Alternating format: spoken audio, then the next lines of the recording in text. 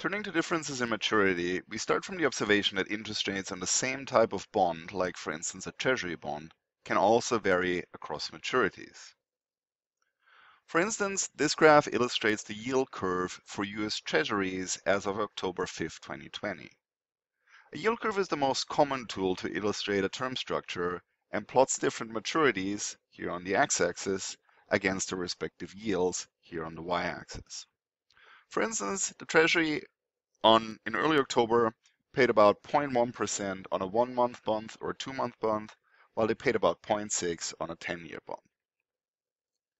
Now, generally speaking, such yield curves can have the three different shapes. They can slope upward, which is what we refer to as a normal yield curve. They can slope downward, which is sometimes referred to as an inverted yield curve, or they could simply be flat. In reality, the relationship across the maturity spectrum is very linear, so often we see kinked or humped yield curves. We will briefly discuss why yield curves look the way they do before we move on to the question why financial practitioners and economists care about yield curves. Um, before we can do so, let me start with three stylized facts though. First things first, yields tend to move together over time. That is, if short-term yields rise, long-term yields tend to rise as well. Much like when short-term yields fall, long-term yields fall also. We will talk about why this is, but this kind of co-movement among interest rates is something we already saw in the context of the risk structure of yields. Didn't point it out much there, but if you go back to that graph that compared, for instance, the triple B to high yield bonds, you'll notice that interest rates tend to trend in the same direction, and the same is true for the term structure of interest rates. The second, the second, observation sounds slightly more contradictory to the first, but in reality it is, and I'll clarify in a second. The first states that interest rates tend to all move in the same direction at the same time. The second empirical fact that we observe about interest rates is one about relative distance of yields.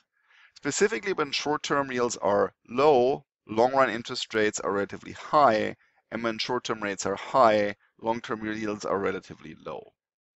What this means in reality is that the slope of the yield curve varies depending on what short-term yields are. When short-term yields are high, the yield curve tends to be flat, whereas when short-term yields are low, the yield curve tends to be relatively steep. The third empirical fact, finally, is easy to understand. Yield curves tend to always slope upward. That means long-term yields tend to be higher than short-term yields. Now, I'm not going to show you the empirical evidence at this point. That will be part of the homework assignment. But for now, just accept these three facts. Yields tend to co-move. When short-term yields are low, interest rates, uh, sorry, yield curves tend to be steep. And number three, yield curves almost always slope upward. There are three ways to explain the shape of yield curves. With the first two that are listed here, building the foundation for the more modern approaches, which are the third ones here. Um, these are one, the pure expectations theory, which explains both co-movement and yield curve steepening and flattening, but it cannot account for the fact that yield curves normally slope upward. The second theory we'll briefly discuss is the segmented market theory, which explains that latter effect, that yield curves are always upward sloped, but cannot account for the first two. And then finally, the liquidity premium and preferred habitat theory, which are a combination of the first two, explain all three empirical facts. Let's begin with the expectations theory. The core idea here is that long-term yields are an average of expected short-term yields. What does that mean? For instance, if you expect the average one-year yield to equal 10% over the next five years, then today's five-year yield should also equal 10%. The key assumption herein is that investors only care about the combination of maturities that pay the highest expected yields and otherwise do not care about maturities at all.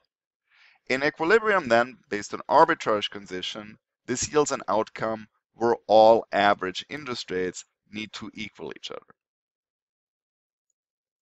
Now, since this might be a little bit abstract, let's illustrate this using an example. Say, for instance, you wish to invest over a period of two years and you have two choices to do so. One, you buy a one-year bond, you hold it to maturity, and then use the proceeds to buy another one-year bond, which you hold to maturity again until two years from now. The second option, sometimes the simpler one, is you buy a two-year bond today and collect interest on this bond twice. As always, for the sake of illustration, we assume that there are no transactions cost or similar complications that could induce frictions into this choice.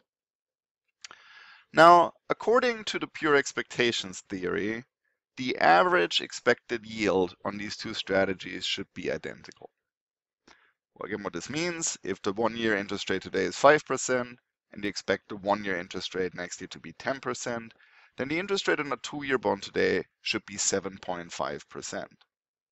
If one strategy or the other promises a higher yield, investors should only follow that strategy, which would of course drive up the price of the involved bonds, therefore reducing the yields through arbitrage. Let's formalize this a little bit more by first introducing some basic notation. Let IT be the interest rate on a one period bond today, and IT plus 1E be the expected yield on a one period bond one year from now. Of course, by the time you make the decision, you only know what today's interest rates are. You don't know what tomorrow's interest rates are going to be, so you have to form an expectation. Finally, let I2T be the interest rate on a two-year bond you buy today. So that is something you know again.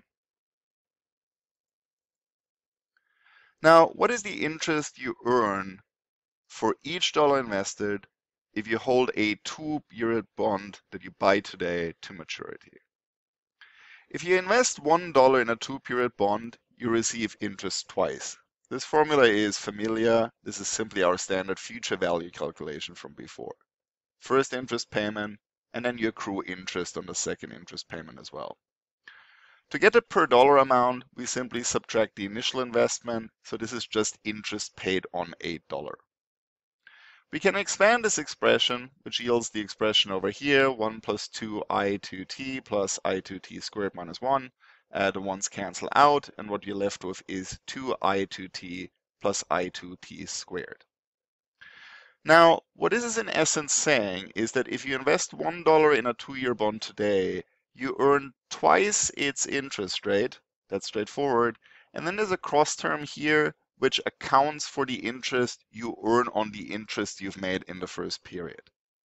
Now, for shorter time horizons, this is going to be very, very small. If the interest rate is 2%, this would be 2% of 2%. So for the sake of our discussion, we're going to ignore this cross term here. So approximately, if you buy a two-year bond, what do you make? You make two times the interest rate it pays to I2T. There's a two missing here. Sorry about that. Now, by contrast, what do you earn if you purchase a one-year bond, use the proceeds, and reinvest? Again, on your initial dollar, you earn interest, 1 plus IT. Then you reinvest this amount at whatever you think tomorrow's one-year interest rate is going to be, which again, you don't know today. Subtracting 1 again gives you the expected interest payment for each dollar invested. Again, I can expand this expression. It's going to look similar to the other one. The ones are going to cancel here. What I'm left with here is that what I make if I invest into one-year bonds is the interest rate on the one-year bond today the interest bond, the interest rate I think a one-year bond is going to pay tomorrow, and then a cross term here that accrues for accounting, for compounding. The compounding term again is going to be fairly close to zero, so we ignore it. In other words, if you buy two one-year bonds, the expected interest rate you earn is the one-year interest rate today plus the expected one-year interest rate tomorrow. Now, no arbitrage assumes that both of these interest rates need to be the same. Solving this expression for the long-term rate, which in this case is the two-year rate, yields I2t is equal to the short-term rate today plus the expected short-term rate tomorrow divided by 2. And this, of course, is simply the average of these two rates. That's what the expectations theory states.